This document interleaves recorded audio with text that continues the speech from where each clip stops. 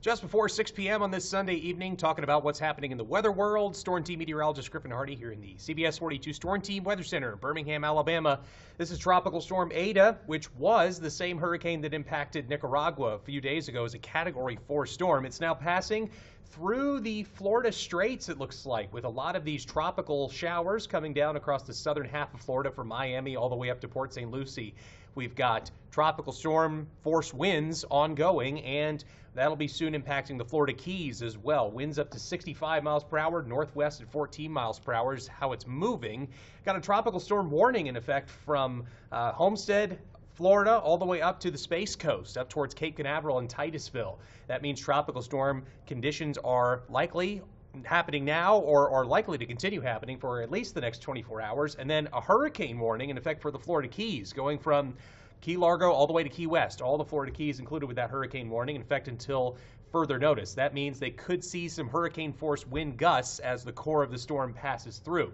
Now, here's the latest track from the National Hurricane Center. What's changed is that now it's expected to make this left turn back down to the southwest and then curve back up to the north. So once we get to Wednesday, that's when it should be uh, making that turn back up to the north and eventually northeast.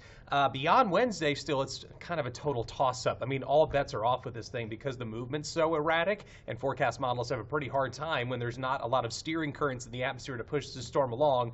That's what's happening with Eta. So this will likely change again, but for the meantime, this looks to be staying to the east of Alabama. That's the good news. Obviously, we'll keep watching as as any Gulf storm is worth watching. We'll keep an eye on it as the week goes on. Meanwhile, back here at home, overnight tonight, not that much changing. We're in a kind of benign weather pattern with passing clouds, some sunshine.